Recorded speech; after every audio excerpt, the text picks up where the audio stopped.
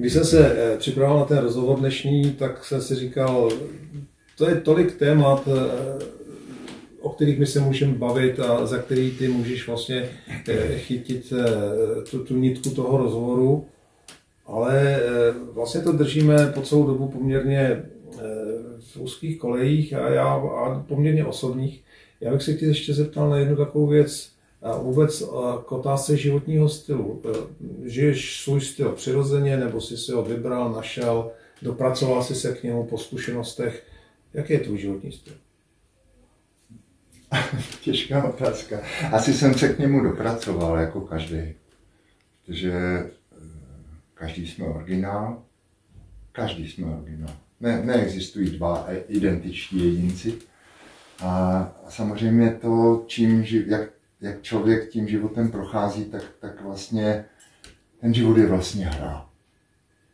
Neuvěřitelně propracovaná, krásná hra, někdy, někdy velmi tvrdá hra, někdy nádherná, ale je to hra. A vlastně jde o to, jak v té hře reagujeme a ono nás to někam směřuje. No a pak, a pak je pro mě je dneska asi nej, nejdůležitější míra uvědomění, mm-hmm. v čem ta hra spočívá.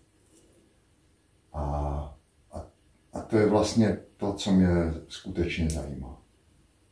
Co se týče věcí veřejných co se týče vlastně tvýho osobního eh, života a, a, a principů, asi se hodně ty e, principy promítají nakonec těma hodnotama, o kterých jsme se bavili, to se nedá oddělit, i, i co se týče tvýho podnikání, ale aby, aby člověk prošel uh, úspěšným životem, který který si procházíš ty, tak, eh, tak pro nás by bylo ostatní to docela dobře vědět, na čem ty jsi stavěl v životě. Já jsem určitě nestavil. Já jsem šel vždycky za tím, co mi dávalo smysl.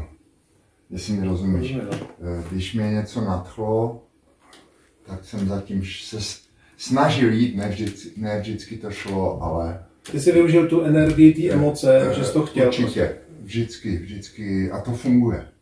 Jakmile tam je to, že to jde zevnitř, to je podobně, jak jsme se bavili o ty reklamě. Zas musí být něco, co jde z tebe, jinak to nefunguje. Jinak je to jenom jako. A to samé je to v tom životě, když máš nějakou, když cítíš, že něco chceš dělat a jdeš za tím, tak to funguje. No. Eh, vlastně ta emoce je to palivo, kterou taky mm-hmm. ty mhm. potřebuješ k tomu, aby si mhm. někam doputoval. Vlastně vnitřní, vnitřní nějaká energie, vnitřní takové puzení, prostě ta emoce. Emoce je samozřejmě, to, to provází, že, tady to, ale ten vnitřní pocit.